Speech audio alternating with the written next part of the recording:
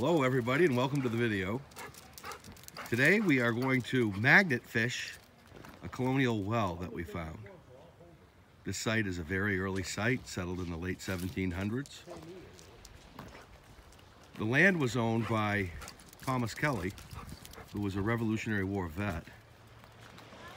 And this particular part of the property was leased to a guy by the name of Cromwell. So that pond way out back behind the seawall, that's called Cromwell's Pond. Well, let's find that well and get started. What do you think, Caleb? You ready for ready to go? Oh yeah. All right. This is the old colonial cellar hole right here. It's been filled in. And they're building a house over there, but I have metal detected this. And the oldest thing I found were some Indian head pennies. So nothing dating to the 18th century. But this well is legendary locally here as having been dug by the original settler. And there it is. So we'll uncover it and see what we got.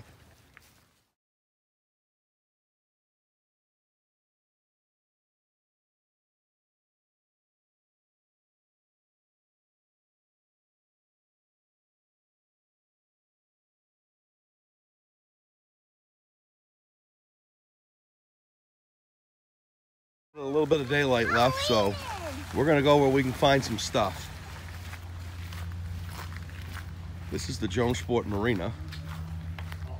And I've done a lot of Look at here.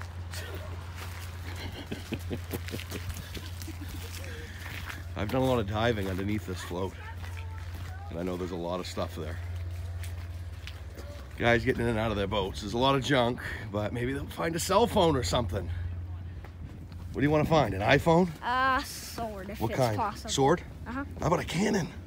That'd be better. Let's do it.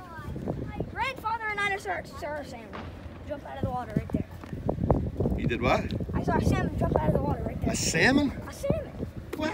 Yeah. There hasn't been a salmon in here in about 70 years. Maybe it's an escapee from the salmon pens. Oh boy. Where are we going? Right down there. Right down on the end of the float.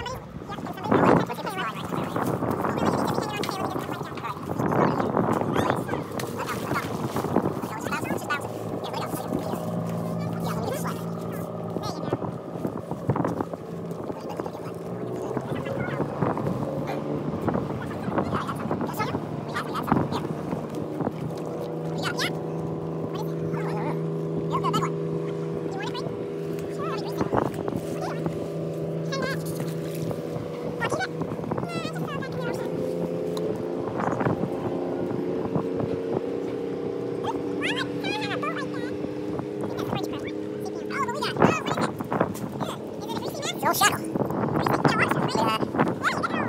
That's what magnet fishing is about. Bunch of old scrap steel, stuff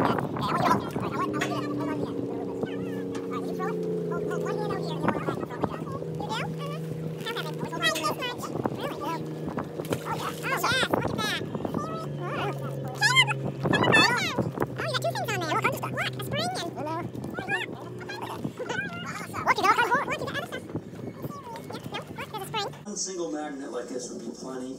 Uh, two magnets is probably going to be too much. And keep in mind, these things are very, very dangerous. Okay, if you get your finger between that magnet and your car, or your toolbox, or a hammer, or anything metal, it'll smash it, and you'll have blood everywhere. And if you're a parent and you're getting magnets for your kids, be very, very careful. Make sure they understand the dangers because they will find out and learn a lifelong lesson if you don't warn them stringently about these magnets.